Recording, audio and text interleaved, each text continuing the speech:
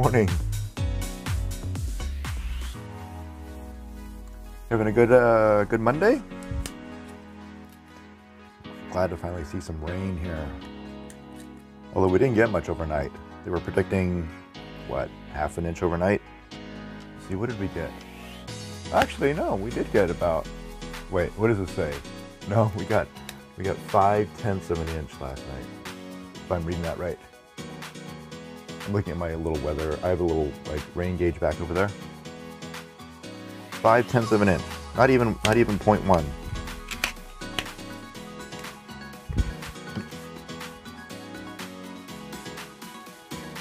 So that kind of stinks. Oh wait, wait. No wait, sorry. I was looking at the wrong one.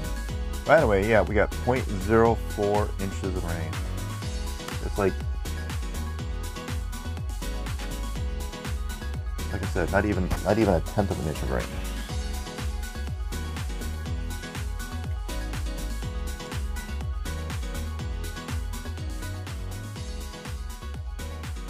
How about you?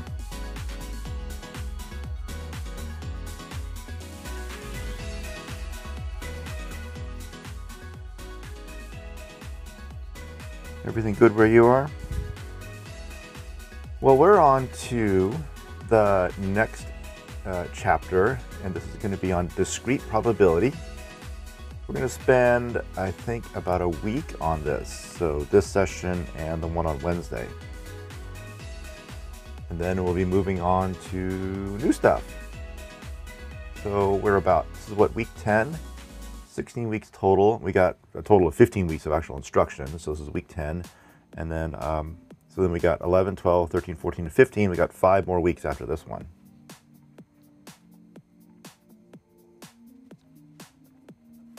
So I think the next topic after this is graphs. And then uh, following that, finite state machines. We'll spend about a week and a half on graphs, I think.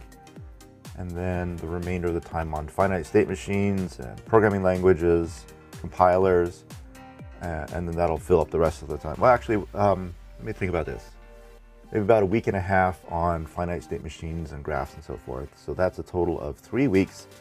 And then we got about a week and a half where I don't really have specific things scheduled. And that'll be some time where we can talk about extra stuff.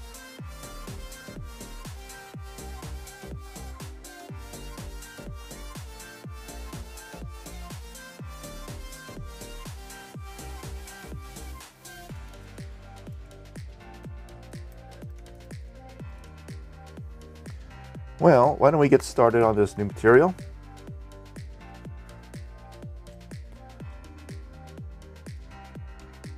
So I have here uh, some questions for you to answer.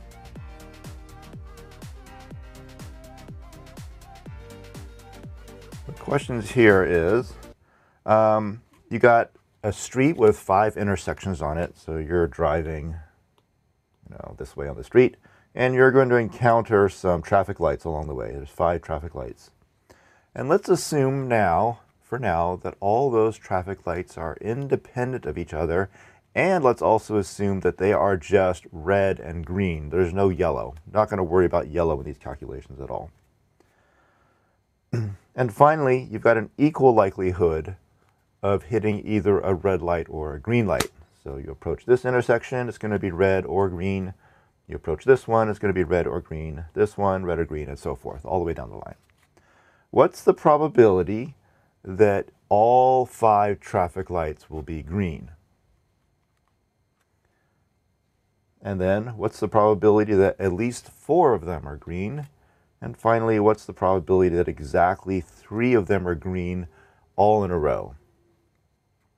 So let's work on the first problem first. So take a moment to think about that what's the probability that all five traffic lights are green? That you hit a green here, and then here, and here, and here, and here.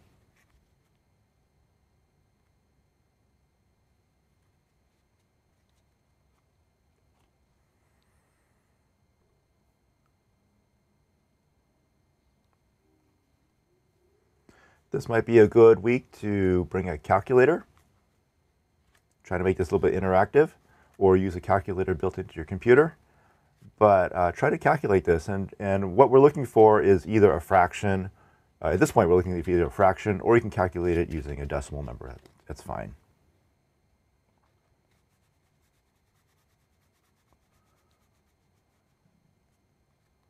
All right, Lord Melbury has it correct with 1 half to the fifth power.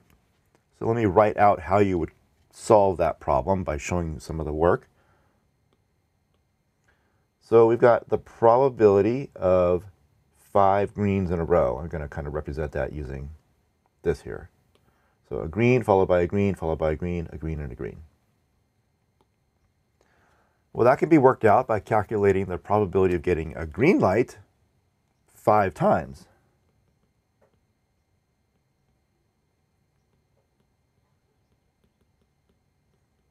And I'm using here the letter P to stand for probability. Um, in some textbooks, we'll use PR to stand for probability, maybe in order to distinguish it from permutations.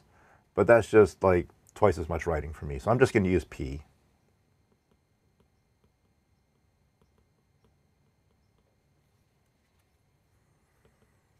Okay, so it's the probability of getting a green five times.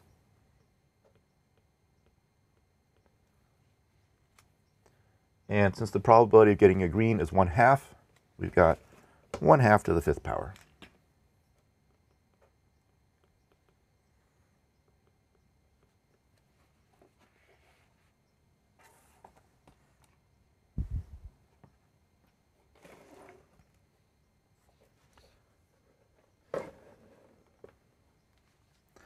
What's the probability of getting at least four greens in a row?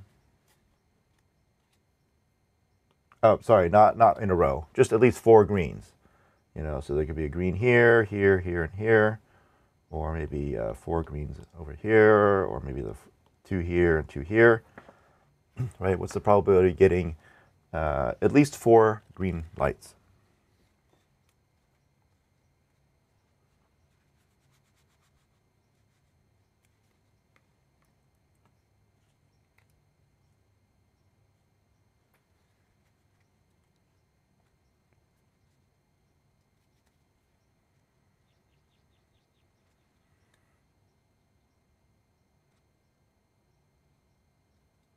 Work this one out?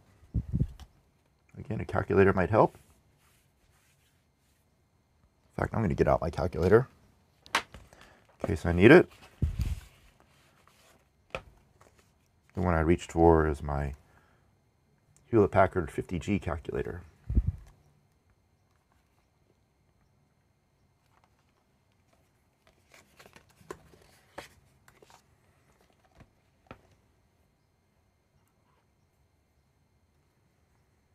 So at least four greens. So here's where we could actually leverage some of the combinations and permutations concepts that we learned last time. What we need to do is figure out what are all the different ways that we could get four greens. So one of them would be uh, four greens and then a red. So we got a green and a green and a green and a green and a red. Or, remember plus is kind of like or, the probability of getting three greens, a red, and then a green. Or the probability of getting two greens, a red, and then two greens. So you can see how the red is kind of marching down the line. And then there's one more possibility, which is all five of them are green. Remember, the question was to get at least four greens. And so having all five of the greens is uh, one of the possibilities as well.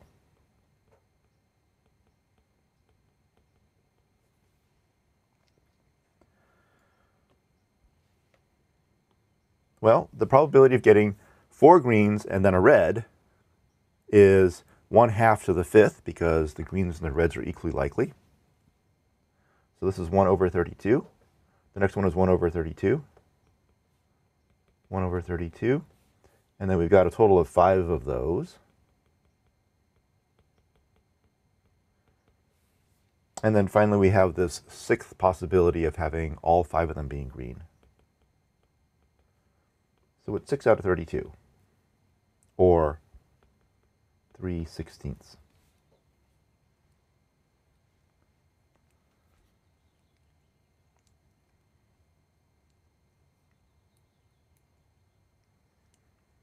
Okay, and then the last one here is what's the probability of getting exactly three greens in a row?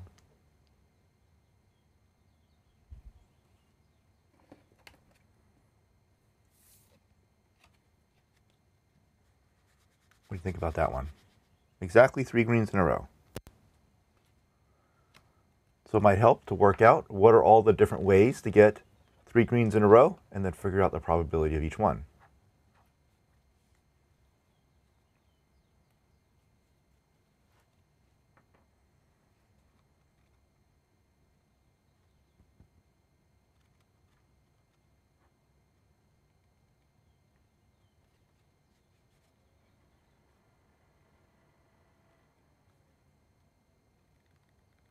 What do you think? Three greens in a row.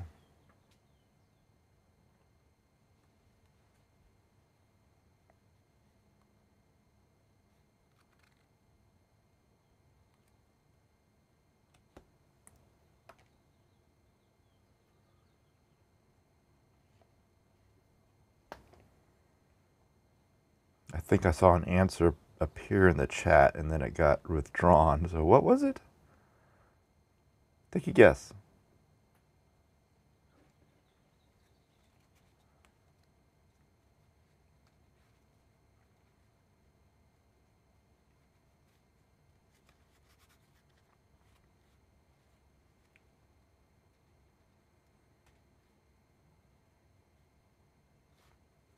Three out of 32 is correct, Max. Good. Let's see how we got that. So let's, let's start by writing down all the different ways to get three greens in a row. So we could have three greens up front and then two reds behind. We've got um, what do we got here? Oh, we got a, red followed by three greens followed by a red and then we've got the probability of two reds followed by three greens. so there's only three ways to get three greens all in a row. So to work this out, it's going to be the probability of the first one, which we know is 1 over 32, the probability of the second one, which is also 1 over 32, and the third one, which is 1 over 32 as well, and uh, we're going to put a plus between each one of these because it's or. It's either going to be the first situation, or it's going to be the second situation, or it's going to be the third situation.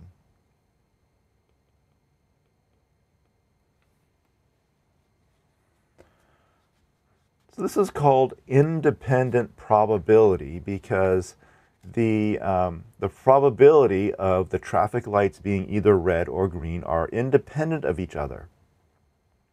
The, the first traffic light does not affect the second traffic light. So you can work out all these probabilities separately and then combine them together. The first three problems had to do with the probabilities of red or green being equal, but now let's shake things up a little bit and let's change the probabilities. So let's say the probability of getting a red light is 0.6. It's not 0.5 anymore, now it's 0.6, which means the probability of getting a green light is 0.4, because the traffic light is either red or green. So question number four, what's the probability of getting all green? So that's basically question number one again, but with these new probabilities.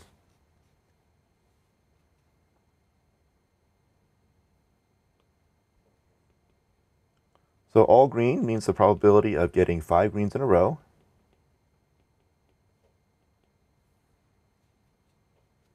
Each one of those greens is 0.4. And we'll raise that to the fifth power. And we get 0 0.01024. Uh, so just slightly over a 1% chance of hitting all five green lights in a row.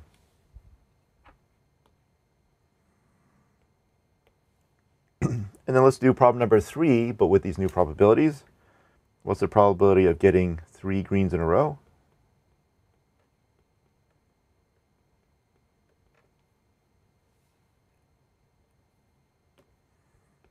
So see if you can work that out.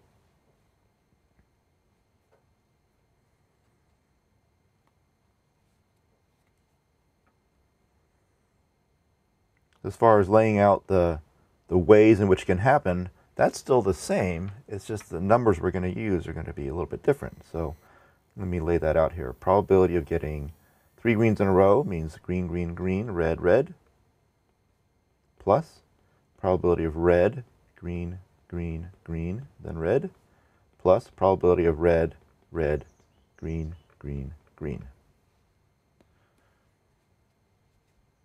Plug in the numbers and let's see what you get.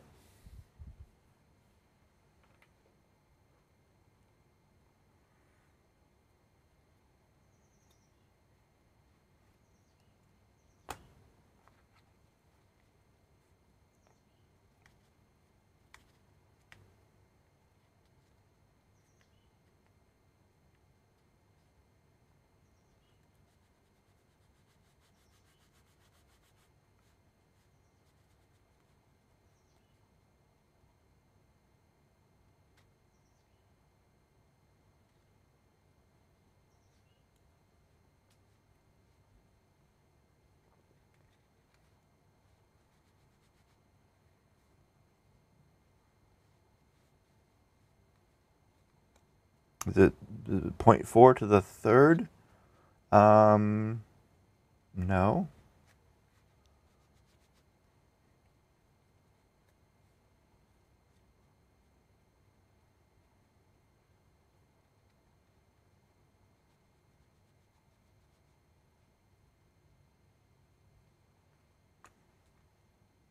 Is it 2 fifths to the third times 3?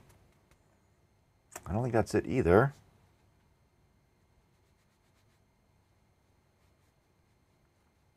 Let's see how to work this out. So the probability of three greens followed by two reds is 0.4 times 0.4. So that's our green followed by a green, followed by another green, followed by a red, followed by a red.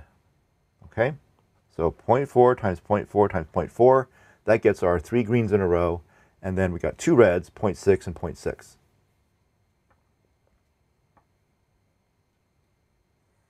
Okay, and then these other two terms have the same numbers, just in a different order.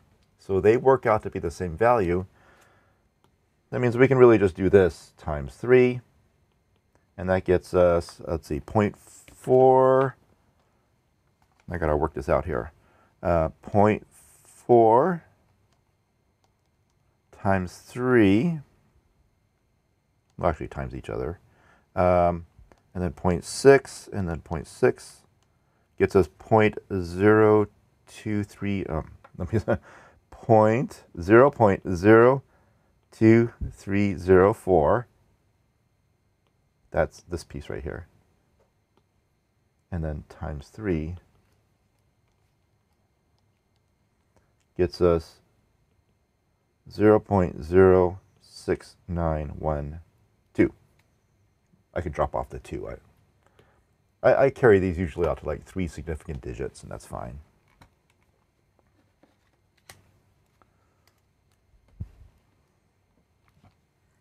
Okay, I, I know it's kind of like a little bit tricky to get your heads around this, these calculations, but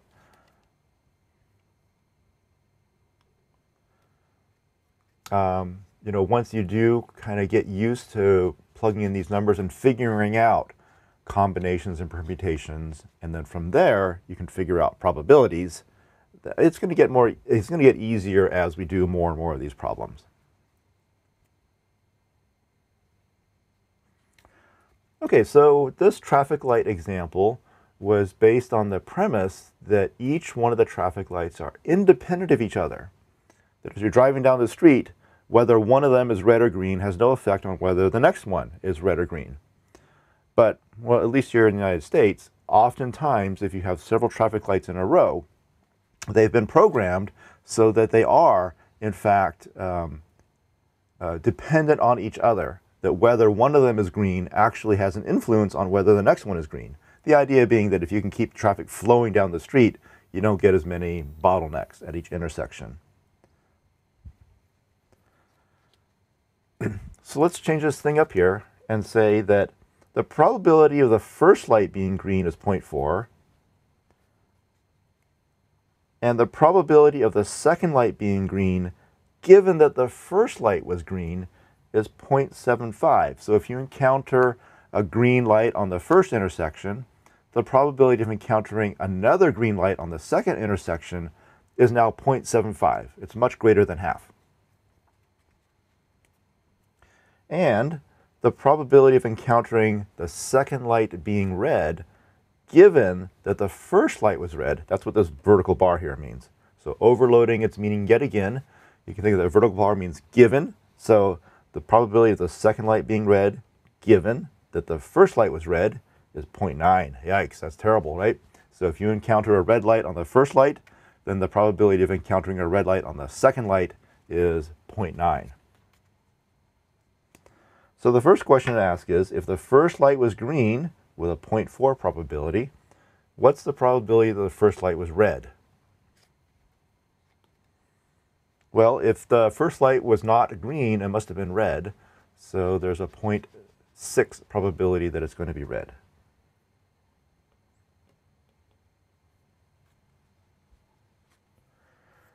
So what we want to calculate is what's the probability of encountering a red on the second light given that you got a green on the first light?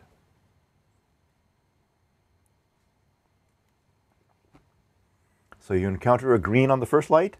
What's the probability of encountering a red on the second light?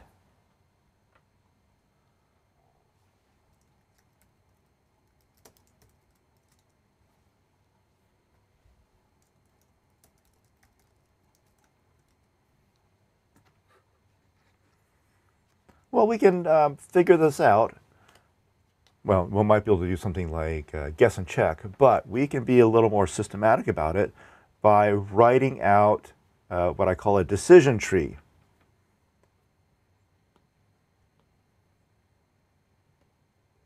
This circle here represents the first light, and that first light can be either uh, green or it can be red.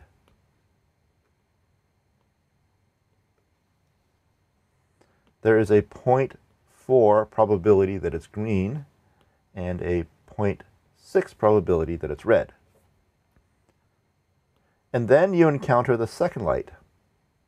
So no matter which branch you go down, either the green branch or the red branch, you still encounter that second light. And that second light itself can be either red or green.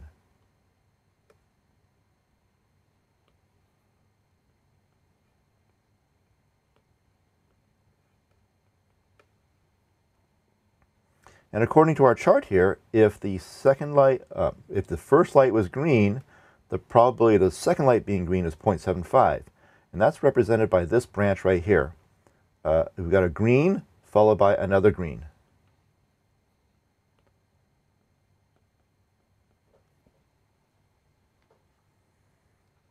And then we also stated that if the first light was red, the probability of encountering a red on the second light was 0.9 and that's this branch down here. So we got a red light followed by another red light.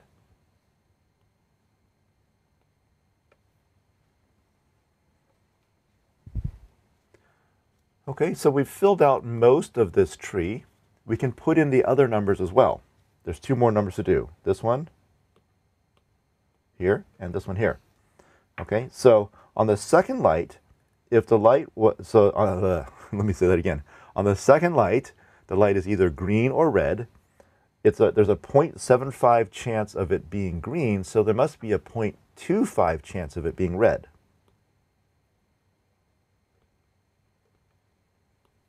Both of these numbers need to add up to 1. there's a 100% probability that it's either red or green. And then down here, if the light is not red, it must be green, and there's a 0.1 probability of it being green. So now we've filled out all six numbers. And now we can calculate these prob other probabilities. So what's the probability of light 2 being red given that light 1 is green?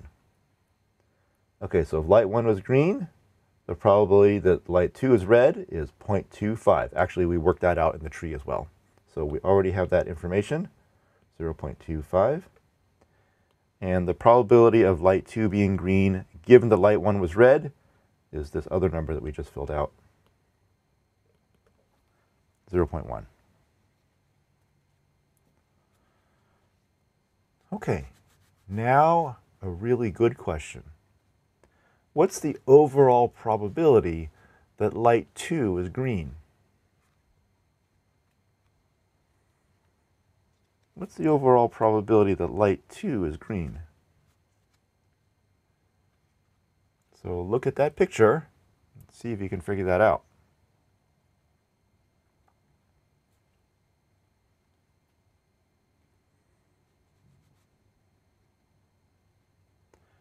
And I'll give you a hint, the answer is not 0.85, which you would get by adding these two together. It's not that. What's the overall probability that light 2 is green?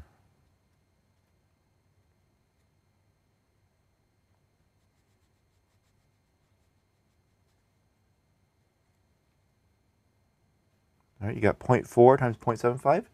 That is, um, well, it, it's not the right answer, but it's on the way to the right answer.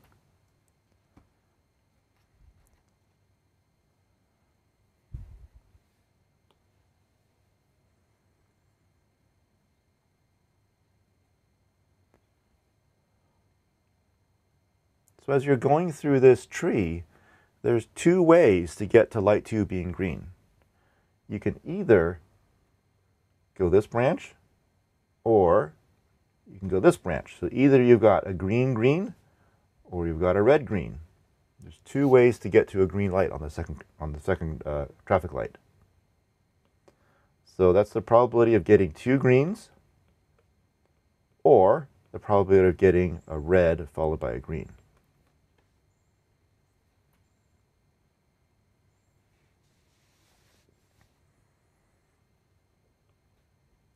So let's work out these two terms separately. The probability of getting two greens in a row is 0.4 times 0.75. So we did this first green and we did the second green.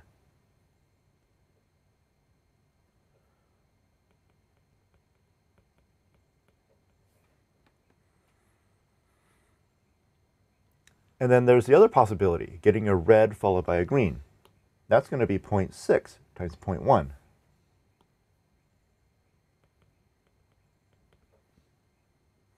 and then we add those together because we either get the first scenario or we get the second scenario.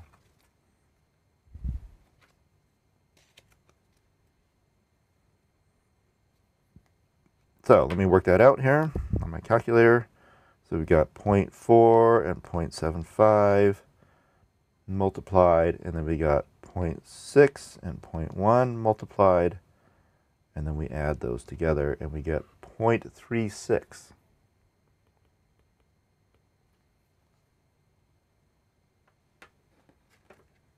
Okay, so this decision tree is immensely helpful for solving these types of conditional probability problems because we see how the second light is affected by the first traffic light. So what's the probability of light 2 being red?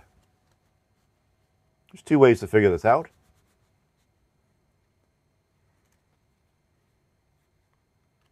Probability of light 2 being red?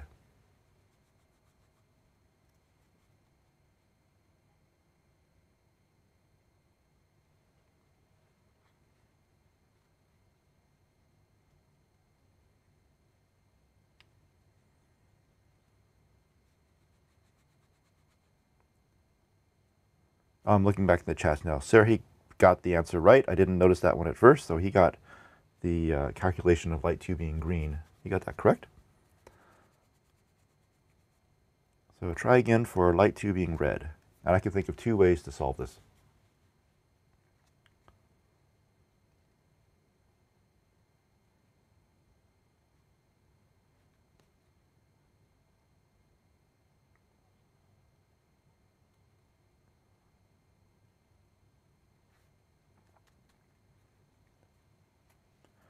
Oh, good, good. 0.4 times 0.25 plus 0.6 times 0.9. So that's calculated by working out all the different ways of getting to the red light. Probability of a red, uh, is that what you're doing first? No, a green followed by a red, plus the probability of a red followed by a red. Okay, we got 0.4 times 0.25 plus 0.6 times uh, 0.9. And uh, let's see, what do we get for that number there? 0.4, 0.25, 0.6, 0.9, and we get 0.64. Okay? And then the other way to figure out that problem is to realize that, well, if, if light 2 um, is red, it means that it was not green. So all we have to do is kind of figure out the complement of it being green. So the probability of it being green is 0.36. So the probability of it being red must be 1 minus 0.36.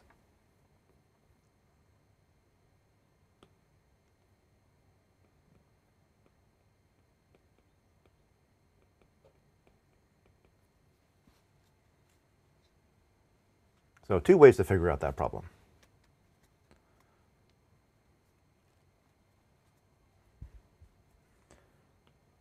All right, so now let's take this to the next step. Remember we had five intersections. We've worked out the probabilities for the first two intersections. Now let's work out the probabilities for the third intersection.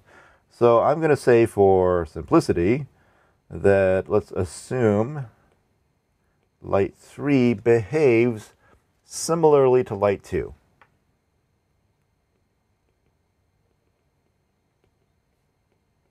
That is, um, its conditional probability is based upon the, the previous light.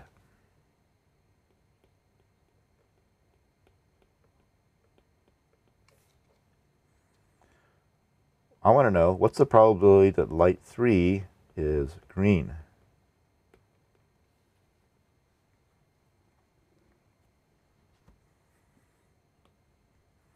I would start by doing one of these decision trees again. But now we've got three traffic lights. We've got the first traffic light, and then the second traffic light, and then the third traffic light. So there's going to be eight possible ways to make your way through this tree. Okay, so, so we can write out that entire tree, but we've already calculated all the probabilities for light 2, so we could actually just start the tree right there. So rather than a big complicated one with eight branches, let's just start our tree at light 2 and then go to light 3 from there.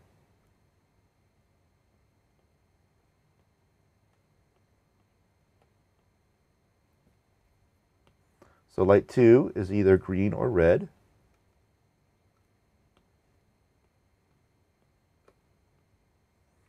The probability of light 2 being green is 0.36, and for it being red is 0.64. We already worked those numbers out. And then for light 3, we'll use 0.75 and 0.1 for the greens and 0.25 and 0.9 for the reds. So for the green, uh, for the for light three, the same numbers on the right hand side as the other tree had. So the probability of light three being green, again, we got two ways of getting a green light.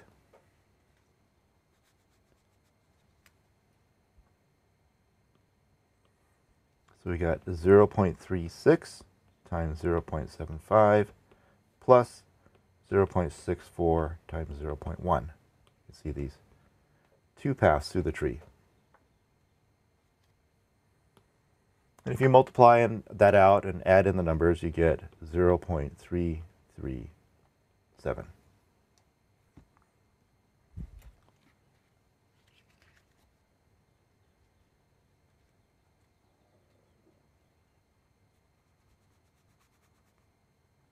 Okay, trying to get the idea?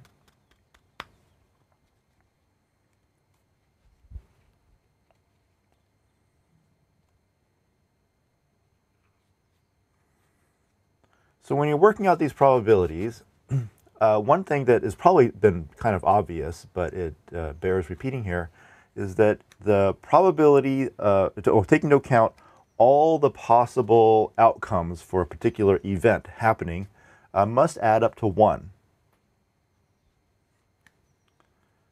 For example, if I have a coin, and it's an unfair coin, with a 0.55 probability of coming up heads, what's the probability that it comes up tails?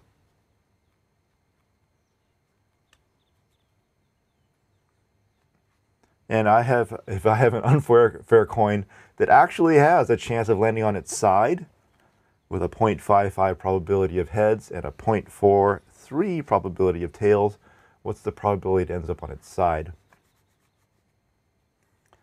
And then uh, if the weather is either sunny or cloudy or rainy, and there's a 0.5 probability of it being sunny and a 0.3 probability of it being cloudy, what's the probability of it being rainy?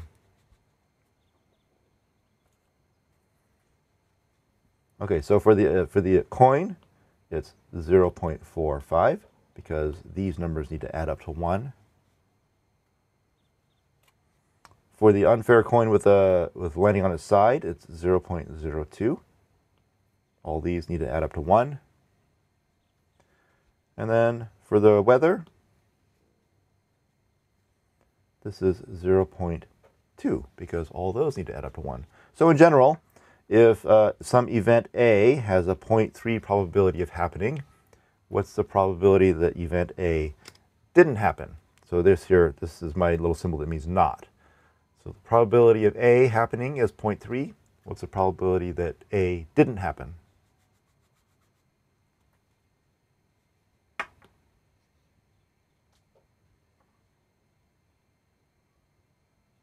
That would be 0.7. Just needs to add up to 1.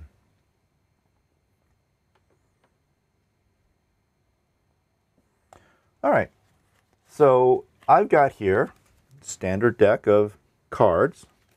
Um, and if we give them a good shuffle, which I haven't done yet, I just opened up this pack of cards.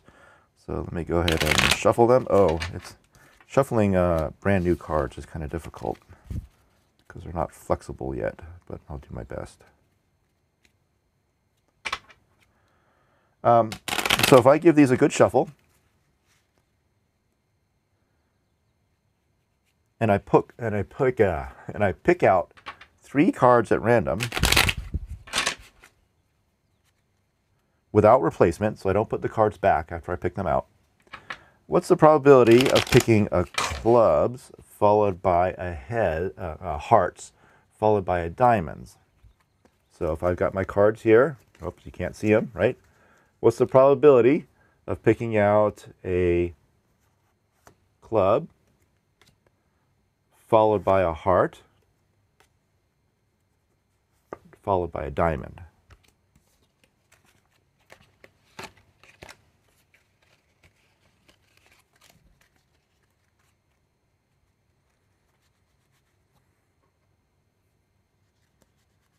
So um, maybe if you're not familiar with these types of cards, there's a total of 52 cards in this deck. They are um, split up into suits. There's four suits. We've got clubs, diamonds, hearts, and spades. So there's a total of four suits. And then within each suit, there's 13 cards from ace, which you can think of as being like one, and then there's two, three, four, five, six, seven, eight, nine, And then there's three what are called the face cards, and those are Jack, Queens, and Kings. So there's a total of 13 cards in each suit. 13 times 4 gives us a total of 52 cards in a standard deck. And so what I want to know is what's the probability if I just randomly pick out three cards, what's the probability of getting a clubs followed by a hearts followed by a diamonds?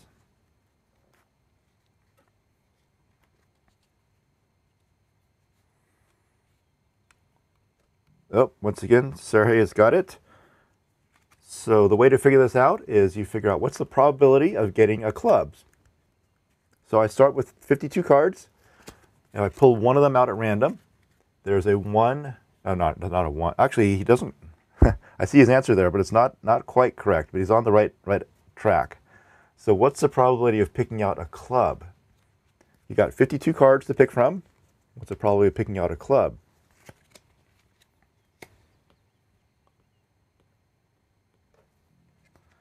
So we're going to pick out a club, and then we're going to pick out a heart, and then we're going to pick out a diamond.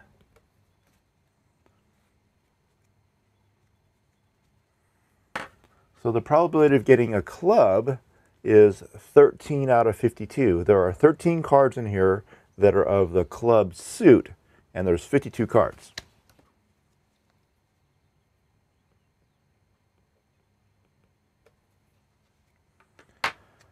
Now, the probability of picking out a heart is not 13 out of 52. It's now 13 out of 51 because I've pulled one of the cards out. Now there's 51 cards remaining.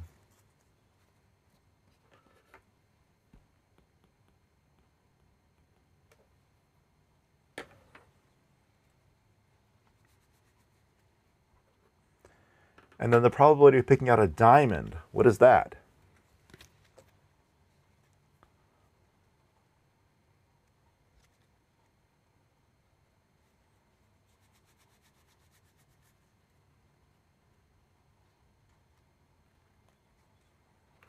Well, that would be 13 out of 50.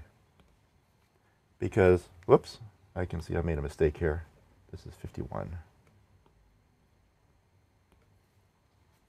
Okay, so 13 out of 52 because there are 52 cards to start with. Then the next one for the hearts is 13 out of 51 because there's only 51 cards remaining. And then finally for the diamonds, you've got 13 out of 50 because there's only 50 cards remaining.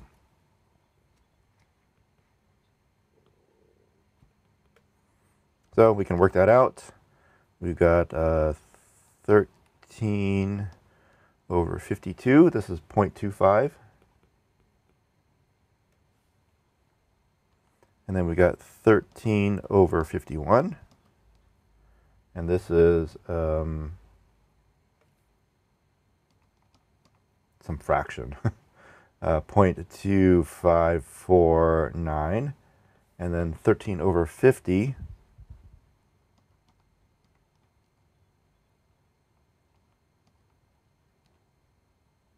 0.26. And then if we multiply those all together, we get 0 0.01656.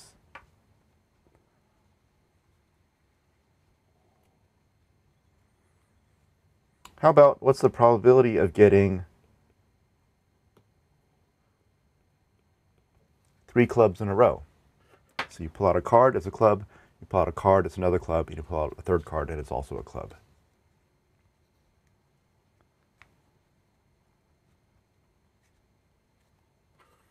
So that would be the probability of getting a club and a probability of getting another club and the probability of getting another club.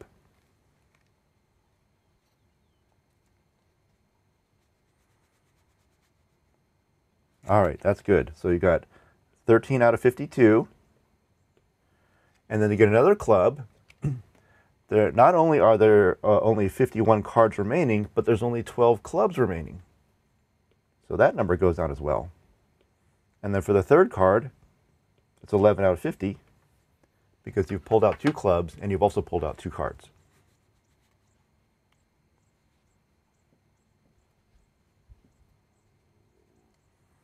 Let's see, 13 times 12 times 11 is 1716. And on the bottom, it's 52, 51,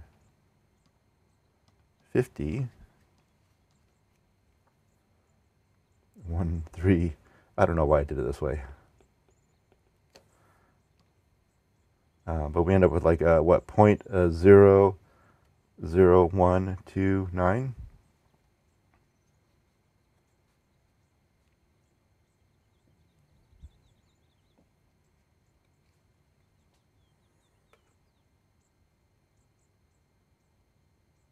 Oh no, I don't think it's quite at that.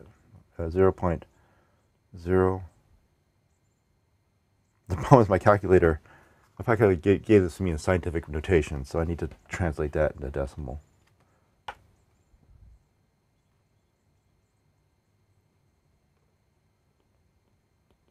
I think it's that.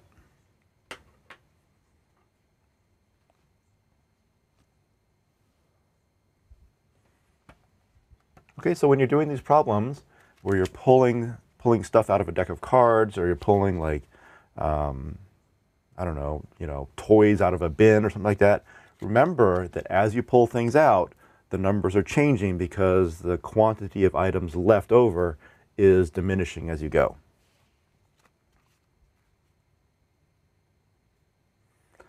Okay, so let me put this all kind of in perspective here. The reason why, or, or what we're doing here is, at, by the end of next time, I want to give you an idea about how spam filters work you, you know, you're all familiar with spam filters. They're what protects your inbox, right, from being flooded with all sorts of advertisements and uh, emails that you don't want.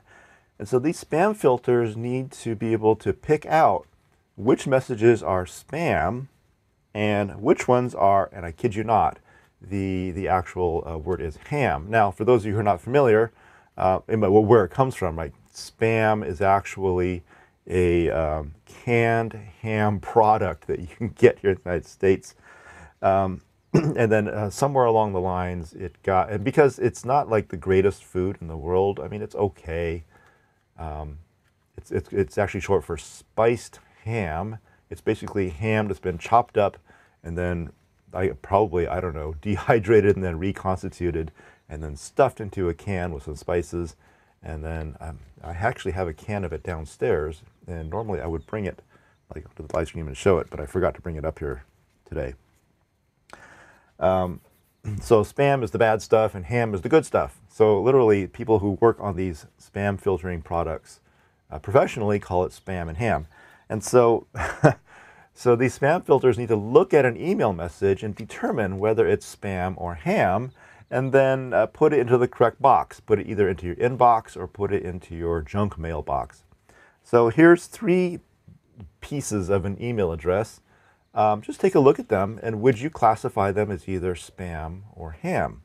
So this first one starts out, Dear Sir, first I must solicit your confidence in this transaction. This, by virtue of its nature as being utterly confidential and top secret, yeah, it goes on from there. Um, uh, would you classify that as being spam or ham? Is it is it junk mail or is it good? What do you think?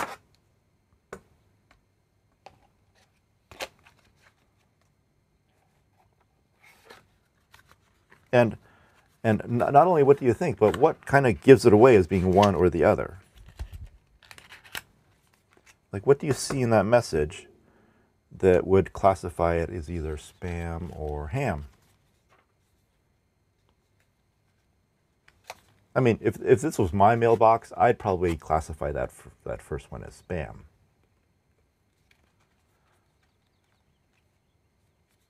But what about that message gives it away? What kinds of words do you see there? Now, here, here's what spam filters have a difficult time doing. Spam filters can't really, I mean, they're, they're not, um, they're just computer programs, right? So it's very difficult for them to infer some kind of meaning out of the messages. So, you know, words like it's vague or it's specific or it's it's um, you know it's not like good grammar don't are, are very difficult for a computer to figure out. So a spam filter is more likely to just look at individual words. And so I might see things like confidential and secret and solicit, and maybe the fact that, at least in most email messages, that you're writing maybe to a friend or a relative, you don't typically, you know, address it as dear sir. That's more like for a business transaction. And if you're just sending emails to a friend or a relative, you don't usually start out emails that way. So you got, you know, words like like those. What about the second message? What are some kind of like objective things that you could look at in that message to say, that is either spam or it's ham. How would you classify it? So Sergey says, this is spam. But what do you see in the message that gives it away? All caps, yeah. So all caps. That's a giveaway, right? What else?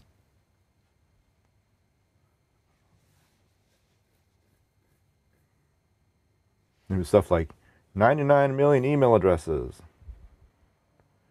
Or, you know, put remove in the subject.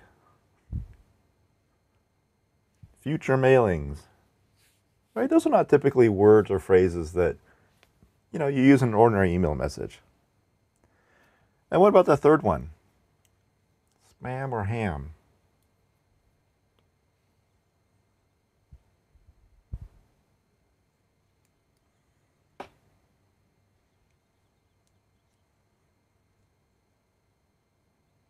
Now, I realize that this, this may be somewhat debatable, but how do you think a, spam filter would classify this?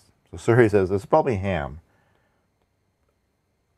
right? Because this is more like the way someone would actually write an email message. Like, okay, I know this is blatantly off topic, but I'm beginning to go insane. Had an old Dell Dimension XPS sitting in the corner.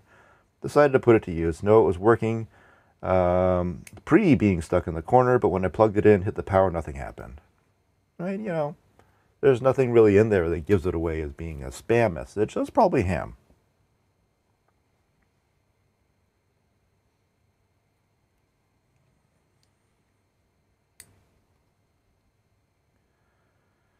Okay, so that's the context by which we're learning this pro discrete probabilities. We're going to learn a little bit about how spam filters, modern spam filters work. Now, I, I can tell you a little story here back in the 1990s, I worked at an internet service provider, one of the very first ones in this area.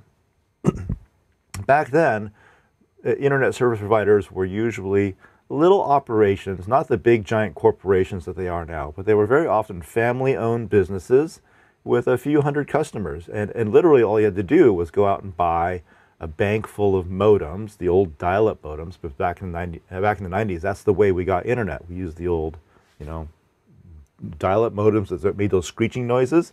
So you bought a whole bank of a few dozen of those. You bought a couple of computers to act as servers for email, uh, web servers, and then uh, you know you went into business.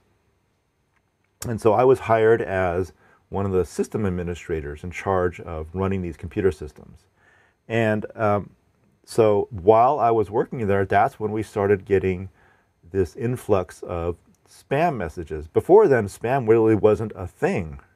In the early internet, people sent emails to each other, and there was this no concept that you would use it for nefarious business purposes. So spam really became started becoming a problem while I was working for a few years at this internet service provider. And so um, being a relatively new phenomenon, we as system administrators had to figure out how to combat this because you know we didn't want spam in our mailboxes, and neither did anyone else. So uh, the first spam filters were kind of homegrown, home uh, you know, it, it writ, basically written by me. It was basically a program that the, the message would come into the mail server, it would run through this program, and then it would just apply a whole bunch of pattern matching to it. I would just look for specific words or specific phrases based upon my own investigation of what a spam message looked like. So I would myself receive spam messages in my mailboxes. I would look at them and would go like, what kinds of phrases do spammers use in their in their messages that would give them away? And I found things like, you know, email, you know, 99 million email addresses. That was actually a very common spam message back back then. Was this company selling email addresses for like you know $100? You could buy 99 million email addresses. So phrases like that. Um, uh, back then, using HTML in an email message was pretty rare. So having a, an email message that had styling in it with, with like bold and, and colored text, that was pretty rare. And so actually it turned out one of the most common colors that was used in an email message by a spammer was white. Right? The purpose there was to make some of the text be invisible so that the viewer of the email message couldn't see that text but it contained, um, you know, uh, some of the the um, what am I'm trying to say. It, it, contained some of the text that the spam spammer wanted to get across. Um, and so I wrote all these filters that would look for those particular phrases, and then it became what we call a cat and mouse game, where as the as my filters got more sophisticated, the spam messages got more sophisticated. In fact, system administrators started sharing their spam filter files amongst each other. Like every day, um, sysadmins would upload the latest set of pattern matchings to a central server, and then other sysadmins would come and download those files and plug them into their spam filters. And so the spammers also had access to this, of course, and so they would run their messages through the filters and see which ones got through and which ones got caught. And if they got through, they would then, um, or if they if, if the messages got caught, they would then adjust something about their messages that would make them not get caught. Like they would change some of the spellings of some of the words. So they would deliberately misspell some words. Or instead of using like white as the color, they would use like almost white. So instead of hashtag FFFFFF. For white, they would use maybe hashtag FFFFFE, right? And that was enough to get it past the spam filters. Um, so it became this, this game where every morning we would download the latest set of patterns, and then um, by the next morning, that list uh, had grown, right? Because the spammers were trying to figure out new ways of getting past the filters. So this filter list got longer and longer and longer to the point where it was taking many, many, at this time, perhaps minutes for a spam filter to check an email message. So by, it wasn't long before emails got horribly delayed. Like someone could send an email to our server and it wouldn't be delivered, delivered to the recipient's inbox for a couple of hours because it sat in a queue of spam mes uh, messages that hadn't yet been scanned. And so as the day progressed and the, and the business day progressed, the queue would get longer and longer and longer and the, and the message would get more and more delayed. And then at nighttime, when the businesses you know, stopped sending and receiving so much email, then the queue got shorter and shorter and we kind of got caught up. and it, you know, it got to the point where we actually had to buy a whole separate server just for the purposes of spam filtering, right? It was this crazy game. And so it was about that time when spam filters started getting more sophisticated. Right? Um, you couldn't do this where you just were scanning over and over again for patterns in the message. It just took too long. And we needed something that was more like artificial intelligence. Not only could it scan an email message quickly and make a decision quickly, but also it would learn over time what messages were ham and what messages were spam because it, it, could be taught. So basically, anytime a user put a message into the correct box, like it, let's say a, a, message got through the filter and ended up in their inbox, and then they moved it over to their junk mail box, that would let our system know that, hey, that message actually was spam. We need to adjust the filters so that it works better. Or if a message had appeared in the junk mail box and they moved it over to their inbox, then that would also let us know that we got it wrong and we need to adjust the filters. And uh, let, let, me let you know that, that pattern matching alone was not like the sole arbiter over whether a message was spam or not. Initially it was, when I kind of wrote my own spam filter, I would just basically add up the number of patterns that got caught. And if the number went over a certain threshold, then I marked the message as spam. And if it was under that threshold, then it got marked as ham. You know, but I would have to keep changing those numbers as the number of patterns went up. And also some patterns were more spammy than other patterns were. Some of them were a dead giveaway for a message, and some of them were kind of like, well, if you see that, it might be spam, but you know that could also be a phrase that someone just might use in their messages. So I'd give those particular patterns a lower weight. So some patterns had a high weight and some had a low weight. And then I would just add up all those weights. And again, if it went over some threshold, I would mark it as spam. And if it was under that threshold, it'd be marked as ham and go into the inbox. But occasionally I would get things wrong. So we needed two things. We needed spam filters that were faster, and we need spam filters that could adapt themselves to uh, new spamming techniques that the, the spammers were using. Okay, so that's kind of the backstory, my own personal story about dealing with spam. And these days, I, I don't run my own mail servers anymore. I leave that up to you know Google and Yahoo. I just have accounts there. They're better at it than I am. and besides, they have uh, one big advantage. I mean, other than more processing power these days, but they have one big advantage is that they have a huge user base. So they're able to look at a huge number of messages and, and classify them as either spam or ham and get corrections from the users. Whenever you move a message from your junk mail folder to your inbox or from your inbox to your junk mail folder, the system is learning from that behavior about whether that message was actually spam or ham and correcting itself. Okay, so you may know about something called Bayes' rule. Bayes' rule allows you to calculate a probability if you know something else about those probabilities.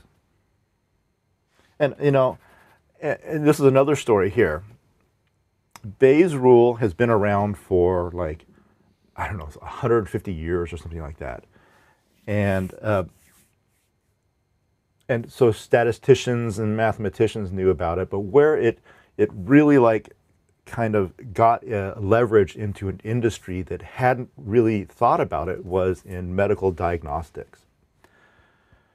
See, up to about maybe 30, 40 years ago, if you went to a doctor's office or a hospital with some kind of condition, the doctor would like, you know, take a note of your symptoms and then make an educated guess about what was going on and then from there would devise a treatment plan for you. But it was really just based upon the doctor's educated guess or hunch or intuition about what might be going on with you. And it wasn't until doctors and hospitals and statisticians started really collecting evidence about whether or not those guesses about your diagno diagnosis were correct. Started learning to see that we could actually collect statistics about medical conditions and then not just make guesses about what's going on, but actually make really good, informed, educated guesses about what's going on based upon probabilities. And so, like I said, up to about 30 or 40 years ago, doctors just had a hunch or an intuition about what your condition was. But now they've all been trained in doing probability, in particular Bayes' rule, so that they can make um, diagno diagnosis is based upon evidence, not based upon a guess. And so Bayes' rule, I think, is really important to learn, not only because it, it gets used in spam filtering, but also because it gets used every day now in uh, industries like medical diagnostics. So what Bayes' rule allows you to do is calculate the probability of a cause given the evidence. Like, for example, I might have a disease that causes some test to either come back positive or negative. Right, and I'm drawing this diagram here with this arrow showing the order of the condition, right? So this disease here happened first, and then the test happens later. So we can say that the outcome of the test is conditional upon whether or not you have that particular disease. And so, um, you know, for the most part, the disease is not observable know, because it's inside your body, and the only way to actually see the disease is if we actually opened you up, right? Um, but this is the cause. But the outcome of the test is observable. And we say this is the evidence.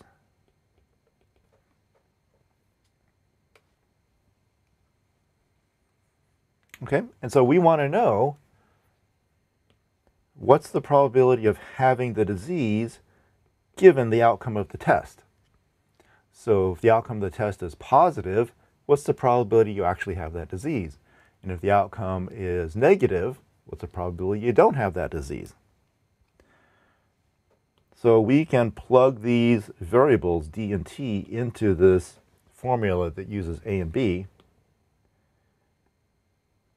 And what you get is the probability of T given D times the probability of D over the probability of T. Okay, so and one thing that I that I myself have picked up over the years is that what this Bayes rule basically allows you to do is if you want to calculate, you know, like say A given B, but you know B given A, what, what Bayes rule allows you to do is basically flip the order of those conditions around. So if you know the conditions in one order and you want to calculate them in the other order, then Bayes rule allows you to do that.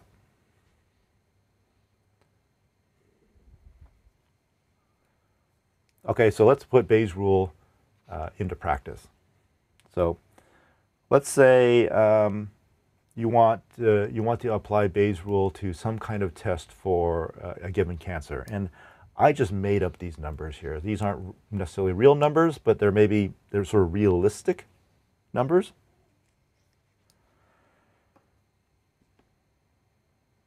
So let's say in the overall population,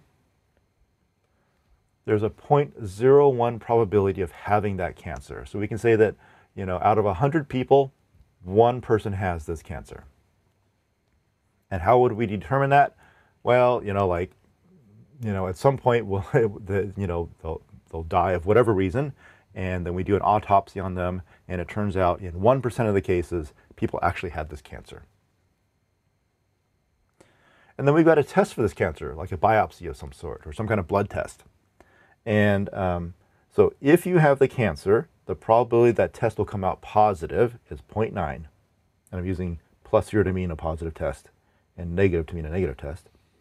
So the probability of having a positive test, given that you have the cancer, is 0.9. And the probability of having a negative test, if you don't have the cancer, is 0.8. Okay, so if you are a manufacturer of some kind of medical test, then you will publish these statistics. You know, the, um, the test will come with like this instruction sheet that says, here's the probability of the test being positive if you do have the disease, and here's the probability of the test being negative if you don't have the disease. Okay, so we want to work out, oh, oh, well, let me back up and say, let's say a patient comes to the hospital, you know, you're not feeling too well. Maybe it's you, right? You're not feeling too well. And so the doctor thinks, well, I guess there's a probability you have this cancer. Let's run a test. So the test comes back positive. What's the probability that you have that cancer? Right? So you ran the test, comes back positive. What's the probability that you actually have that cancer? So to be able to calculate this, we need Bayes rule. So we'll we'll we'll plug these numbers into Bayes rule. We get the probability of a plus given cancer times the probability of cancer over the probability of having a positive test.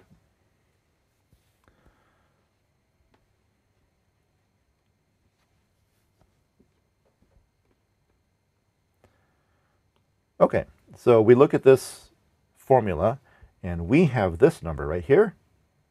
It's 0.9 we have this number, it's 0.1, but we don't have this number. We don't have the overall probability of a positive test. So to calculate that, we'll need that decision tree.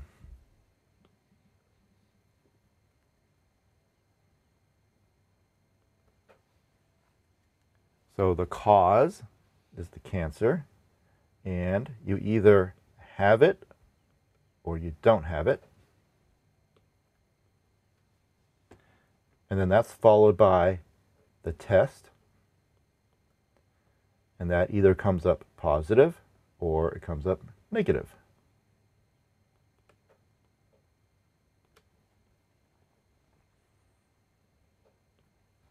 And then we can put in some of those numbers. The probability of having cancer is 0.01, and the probability of not having it is 0.99, right? So both these numbers have to add up to 1. You either have it or you don't have it. The probability of a positive test given that you have cancer is this number right here. And the probability that uh, a negative test given you don't have cancer is this one down here. So you'll notice in these decision trees that there's going to be a total of six numbers. And whenever I give you one of these problems, usually I'll just give you three of them, and then it's up to you to calculate the other three. And you can calculate those other three by just simply taking you know, the complement. So notice that we were, uh, we were given the 0.01 of having the cancer. We can calculate the not cancer by just subtracting it from 1. So the probability of having not cancer is 0.99.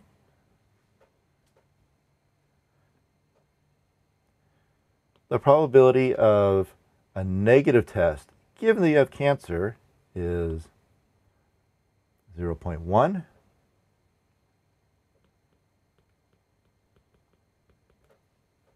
So this row here needs to add up to 1. This row needs to add up to 1. And this row is also going to need to add up to 1. And that is this last number that we haven't put into the tree yet. That's the probability of a positive test given that you don't have cancer, 0.2. So there's six numbers altogether. I'll usually give you three of them. You calculate the other three. You won't necessarily need all six numbers, but it's good to have them. Okay, now we can now we can calculate this.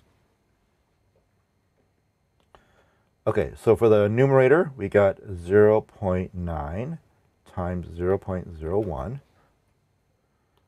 Okay, so we got the probability of a positive test giving cancer, so we got that number. And the probability of having cancer is 0.01, so we've got that number. And then for the denominator, we need to figure out what's the probability of having a positive test. And there are two ways to get a positive test. Either you can go through the tree this way, or you can go through it this way. Both of them end you up with a positive test. So this is 0.01 times 0.9, that's this top branch, plus 0.99 times 0, .0, uh, uh, uh, 0.2, and that's this kind of zigzaggy branch.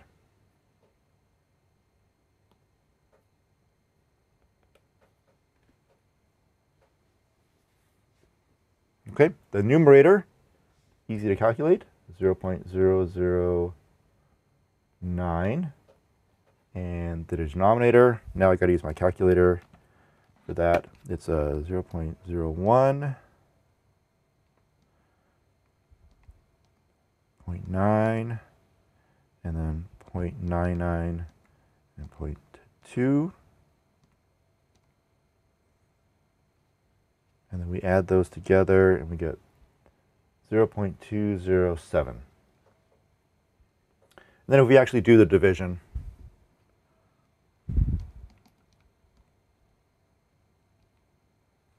we're going to get 0.043.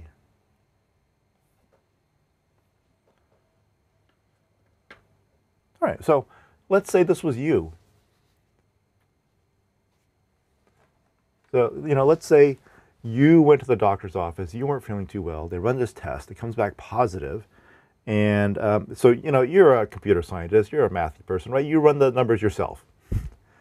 And um, comes back and there is a 4% chance that you actually have the cancer. Now, first of all, does that seem high or does that seem low? Like intuitively, do you think that's high or low? Remember, the, the chances of a positive, given you have cancer, is 90%. So usually what you hear in the, you know, the popular media is that this test is 90% accurate.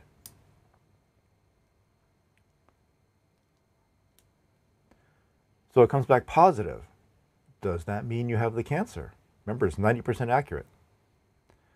Well, turns out there's only a 4% chance you actually do have it. And the reason for that is because only 1% of the population actually has the cancer. So even though the test is 90% accurate, the fact that you've got a positive test doesn't mean you have the cancer. In fact, there's a very low likelihood that you do.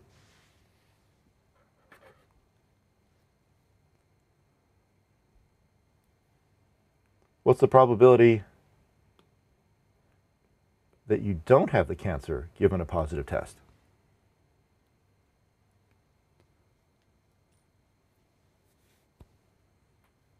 Well, the probability of having the cancer given a positive test is 0.04, then the probability of not having the cancer given the positive test must be 1 minus 0.043, which is uh, 0.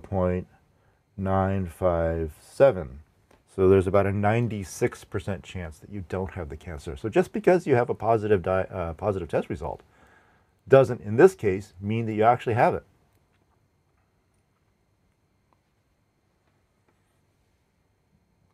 What's the probability? Oh, let's say you go into the doctor's office not feeling too well. So they run this test and it comes back negative. What's the probability you don't have the cancer given a negative test.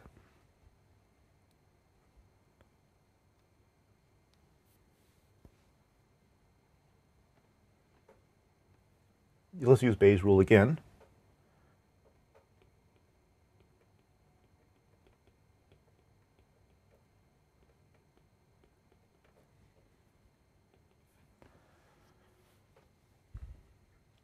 Okay, so to calculate the probability of not having cancer given a negative test. Uh, plugging that into Bayes' rule, you get the probability of a negative test given that you don't have cancer times the probability of not having cancer over the probability of a negative test.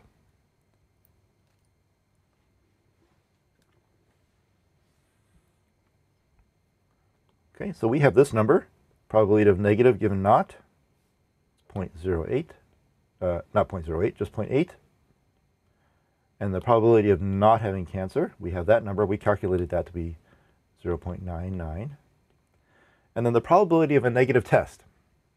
So we could use the tree again. The probability of a negative test would be this branch or this branch. Um, but we could shortcut that a little bit by realizing that the probability of having a negative test is just not the probability of having a positive test. And we know what that is. It's um, 0 0.2, uh, yeah, 0 0.207. It's this number here. So the probability of negative test is 1 minus that.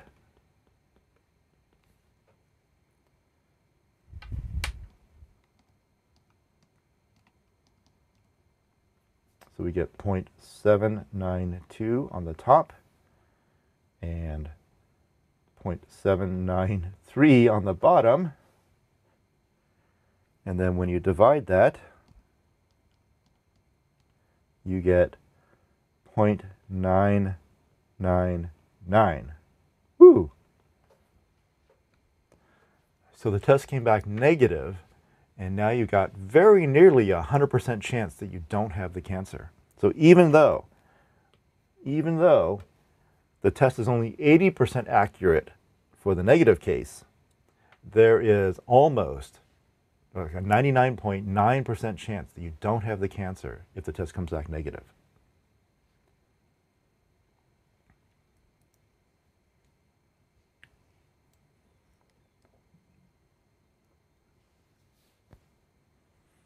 So sometimes these results can seem counterintuitive. And you can see why doctors would now have to be trained on this stuff because um, just taking a guess, you know, the test comes back positive, and you go like, well, you probably had cancer. Well, actually, there's a very slim chance that you do. So put yourself in that position. What would you What would you do if the test came back positive, and you realize there's a four percent chance? Well, I mean, is that is that low or is that high?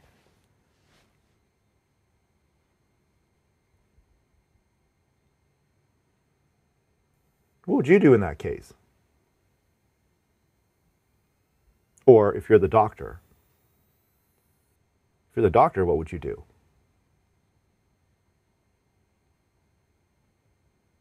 So a test comes back positive, you run the numbers and you realize there's a 4% chance that this patient has cancer. What's your next step?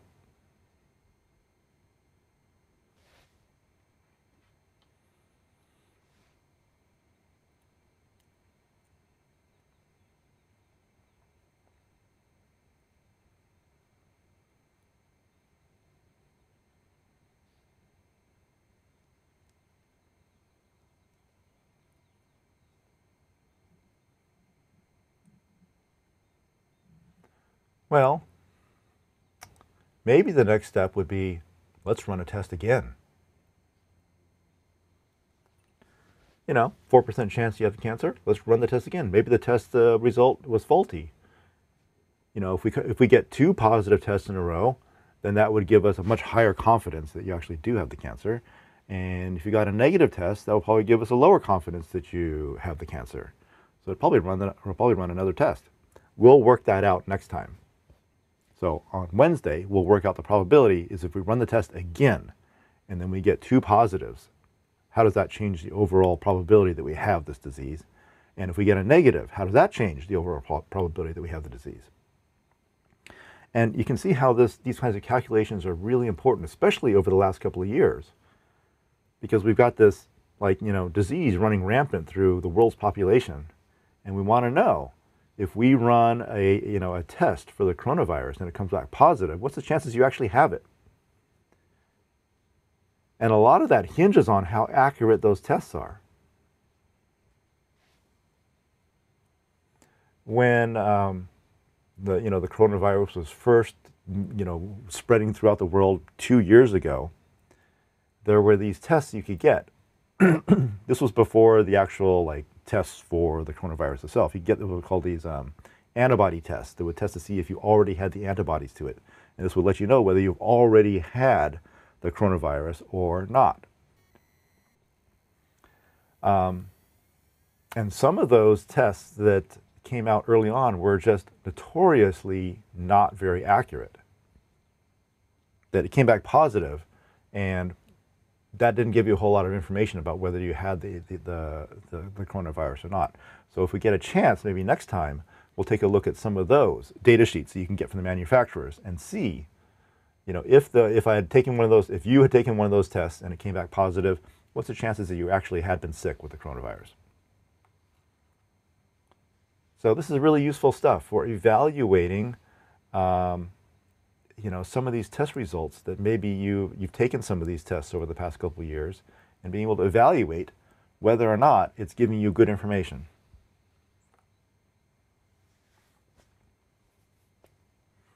So I'm going to do one more problem based upon Bayes' rule here. And, you know, the numbers that I made up about uh, those cancer things were just, like I said, just made up numbers.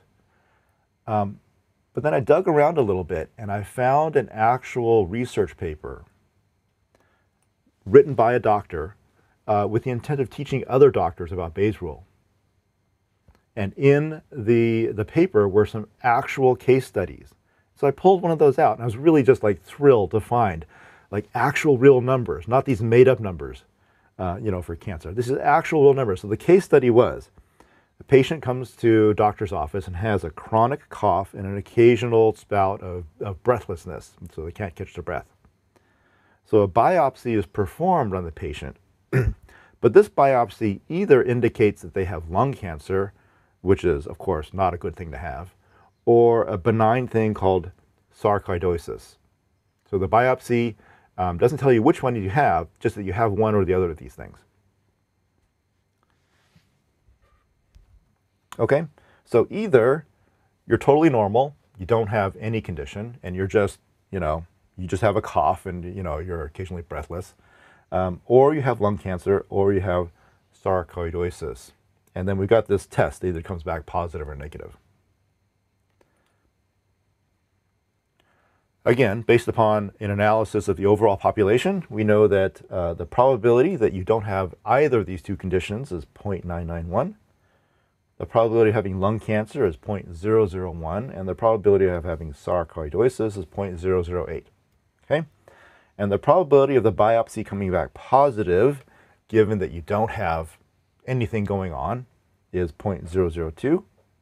The probability of having a positive biopsy given that you have lung cancer is 0.9, and the probability of a positive test given that you have sarcoidosis is 0.95.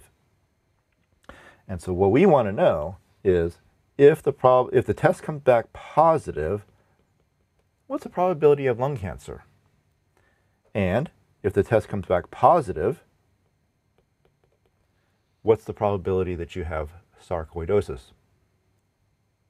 Oh, by the way, you know, the treatment for lung cancer is, of course, you know, highly invasive and not really that great, and the prognosis isn't too good if you have it. And the, the, the treatment for sarcoidosis is a round of antibiotics.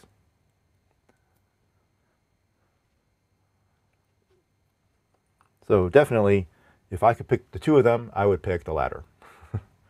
okay, so we want to know what's the probability of lung cancer given a positive biopsy? So Bayes' rule.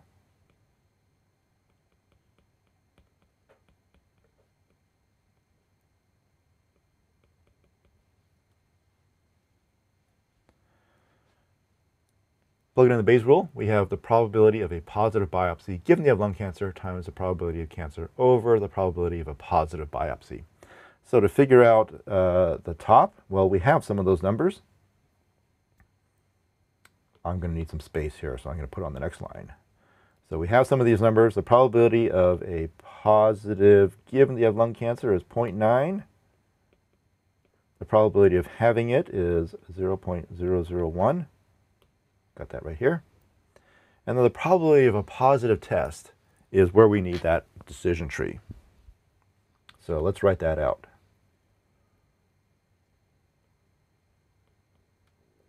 Okay, so you have, you know, some kind of disease here, and it's either going to be uh, normal or cancer or sarcoidosis, and we've got numbers for that. We got 0.991 and 0.001 and 0.008. Actually, I'll write that out here. Okay? And then you got this test.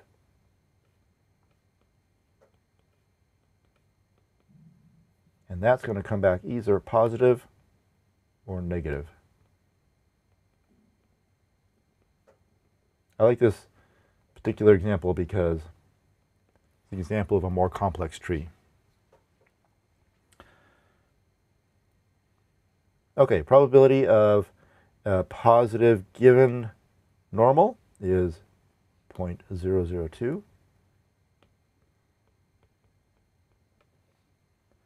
Probability of positive given cancer is 0.9.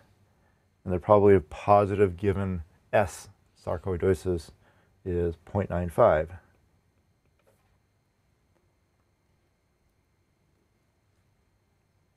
And then we can figure out those other numbers. This one here is 0.998. This one is 0.1. And this one is 0.05. Okay, so the probability of a positive test. This branch, this branch, or this branch. So there's three possible ways to get a positive test. 0.991 times 0.002. That's this branch right here. Plus, oh, I need to make this line longer.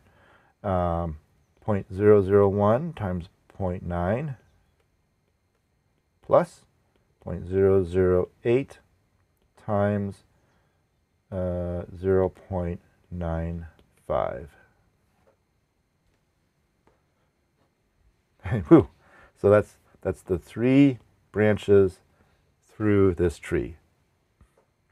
And just in the interest of time, I've already worked out these numbers, but you go ahead and multiply and add, and then you get, actually I'm gonna, I'm gonna move this up out of the way so I got space to do this calculation. Here we go. Um,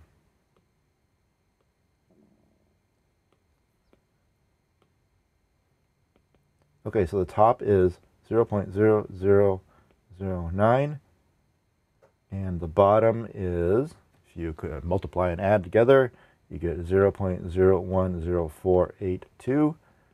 And then if you actually do the division, you get 0.0859.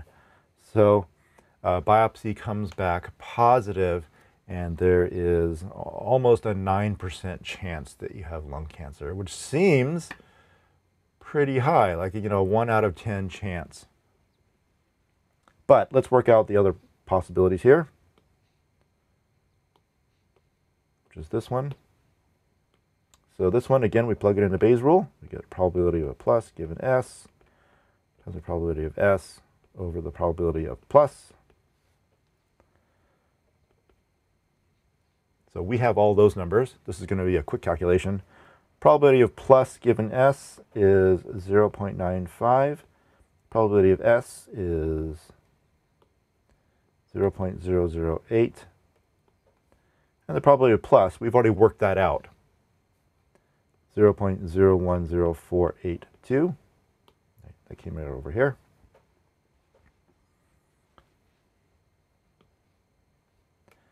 And we get 0.0076 over 0.010482. And this comes out to 0.725.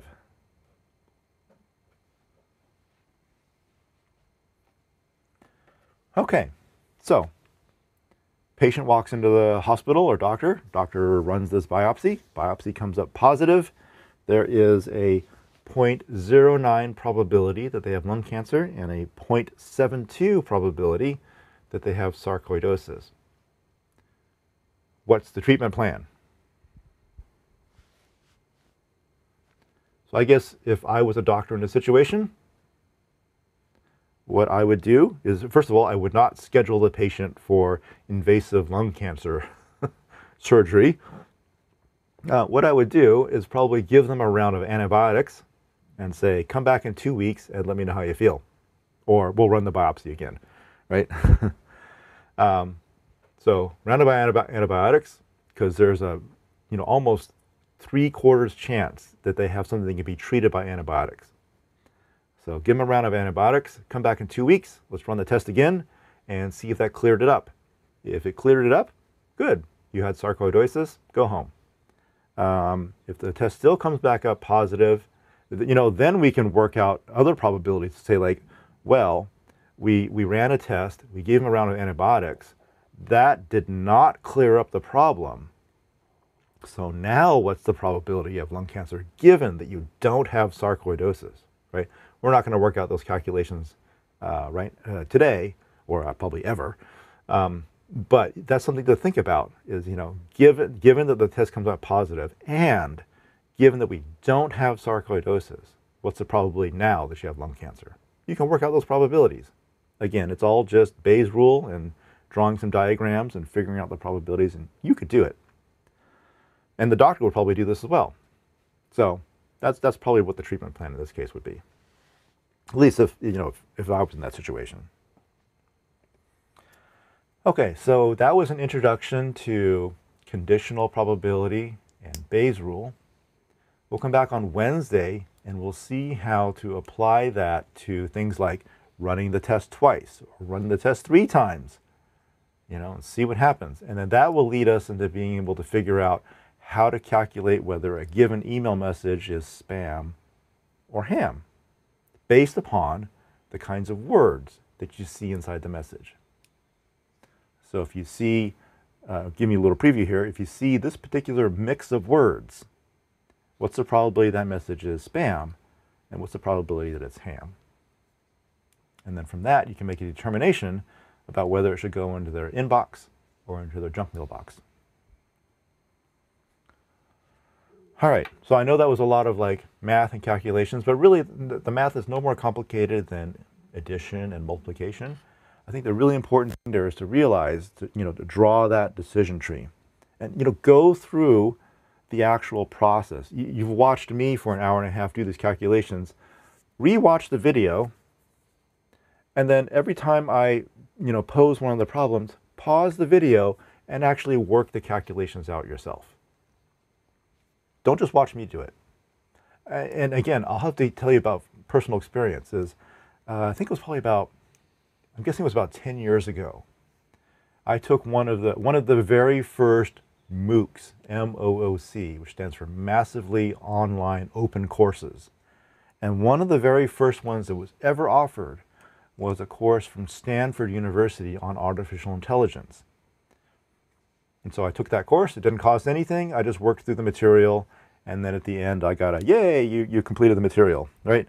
Um, but that's where I learned this stuff about Bayes' rule and conditional probability because it gets used a lot in artificial intelligence. I mean, spam filtering itself is an example of a very kind of like primitive kind of artificial intelligence in which it's, it's learning about what's spam and what's ham. You know, also robots that roam around have to make decisions like, you know, given uh, an obstacle in the way or given that a sensor is reading like, you know, something's in the way, what's the probability that something's actually there and has to be steered around, right? This all, it's all conditional probability.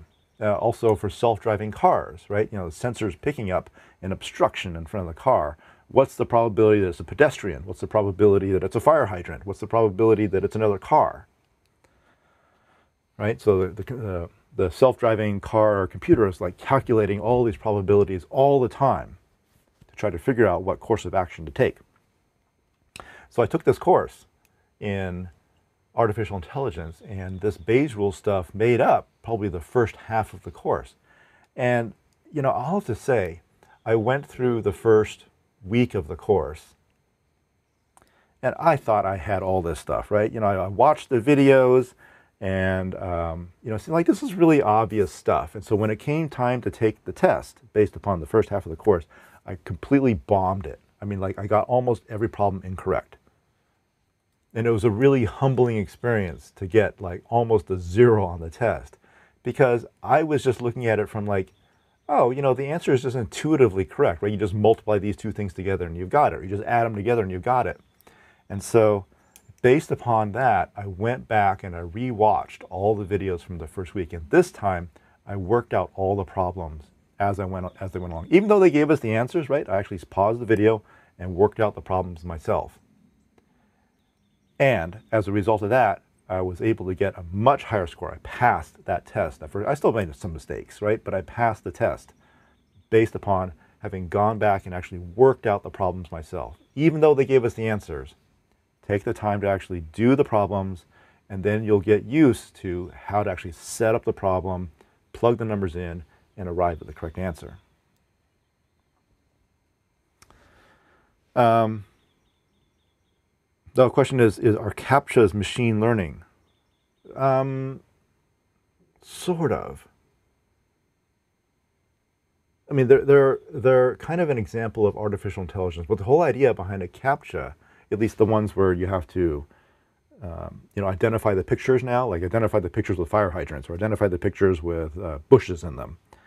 Uh, those are kind of by definition images that the computer doesn't know what's in them, and you're actually helping to tag images. You know, when you do an image search on Google and you say, you know, show me pictures of fire hydrants, uh, the reason why it gets the search results that it does is because people like you have been solving CAPTCHAs and have been helping to decode what's in these pictures. So it's showing you pictures that the computer doesn't know the answer to, and you're helping it to identify uh, where like the fire hydrants are. Actually, so the answer is, usually I've noticed it shows you nine pictures, and then the actual thing that you're looking for is in like three or four of them. And so the way it works is in, I think, probably two of the images, it knows that there's, let's say, fire hydrants in it, and it's in one of the images where it doesn't know. And what you're doing is you are helping to tag that photo as having a fire hydrant in it because the computer hasn't been able to figure it out. The same thing with the, you know, before they were doing images, uh, previously that they were doing like these uh, words out of what looked like scanned books. And that's in fact what it was, was they were um, scanning old books in. And because the ink can be smeared or the pages could have deteriorated, the text was not readable by the computer. So the computer had a really low confidence about what those words were. So you hand it off to a human and you ask the human, what are these words?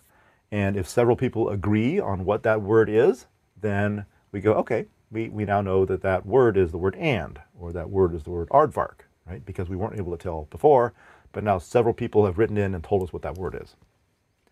So when you were doing some of those CAPTCHAs from, this was probably like five years ago or so, with these uh, words that were kind of smeared, then that you were actually helping computers uh, translate uh, text, the, the, the scan text, into actually, you know, actual text that you can see on the screen. So CAPTCHAs aren't technically machine learning. Uh, they're by definition not machine learning because remember the whole idea of a CAPTCHA is to present a problem to a human that only a human can solve but a computer can't solve. And so CAPTCHAs are showing you problems that the computer has not been able to solve and you're helping it out.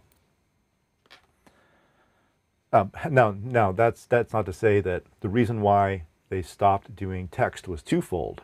One was they just ran out of text to do, and the other was the spammers, the people who were using CAPTCHAs to get past things like email address, uh, email account creation, and uh, you know downloading programs. The reason why they were able to to subvert the CAPTCHAs was their programs to do optical character recognition were getting better and better and better. So even though the text that was being presented to you was not, you know, highly identifiable, at least now OCR was good enough that it could just type in the text and then present to the CAPTCHA and they get past it.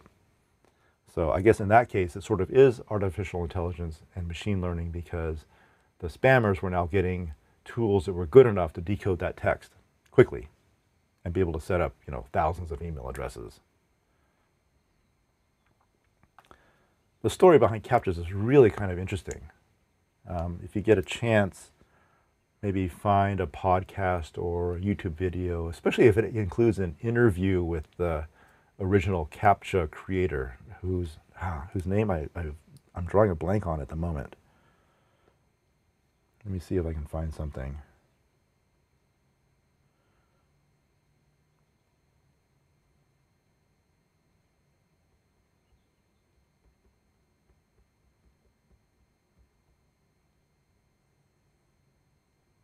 Oh, here we go. His name is Luis Von Ahn. L U I S V O N A H N.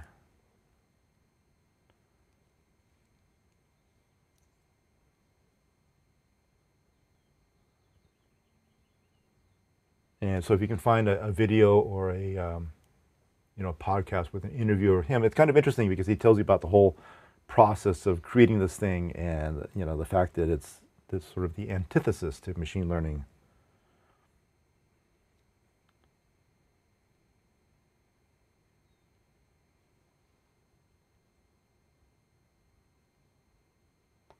Luis Von Ahn may seem like a slacker. He loves watching television. I watch. I can't show you too TV. much of this. That's how I because, spend um, most of my YouTube time will outside probably of work. I blank out my time, video I because this is a you know 100% an actual TV. like right copyright now, I'm video. watching but- Heroes, Dexter, Fringe, Weeds. I've been watching Weeds as well. When he's not watching So- TV, Luis is playing games. Here's I video definitely I'm play some games like Nintendo DS or the Wii, uh, and some computer games. Luis is the kind of person who gets a game and Anyway, he wants to that's enough it. of that.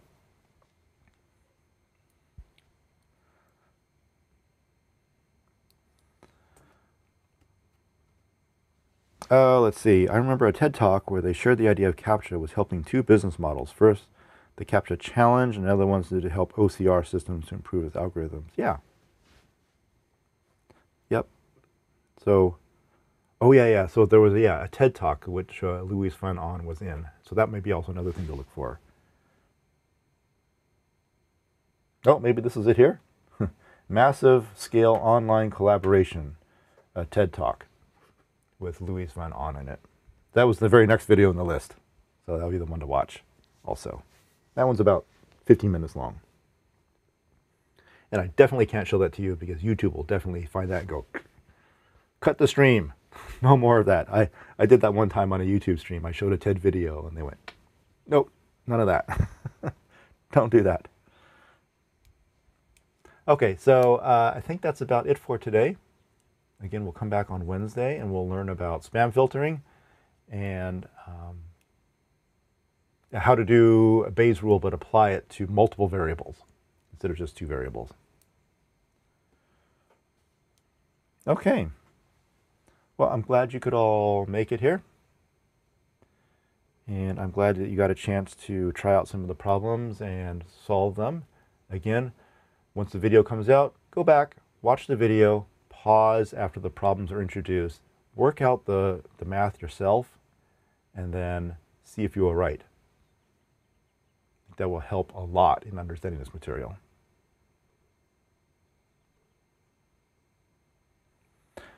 Hope you all have a good day. Take care of yourselves. And I will see you on Wednesday. Bye bye.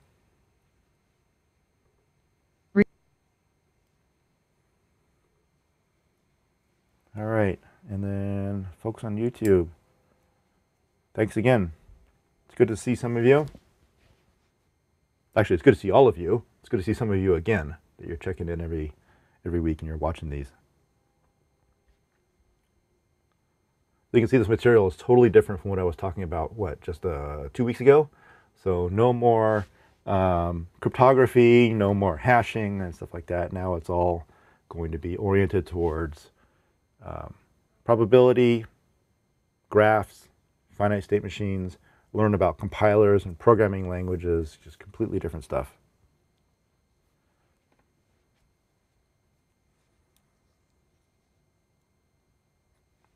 Oh, you're welcome, Lord Melbury. Lord Melbury, who's thanking me for today's lesson. Um, totally, like I said, totally different. Some people really get a kick out of it because you're learning about something you kind of take for granted every day, spam filtering. Um, but some people go like, oh, it's math, right? But really, it's, it's not more complicated than multiplication and addition. All right. Um, with that, I think we'll end the stream here.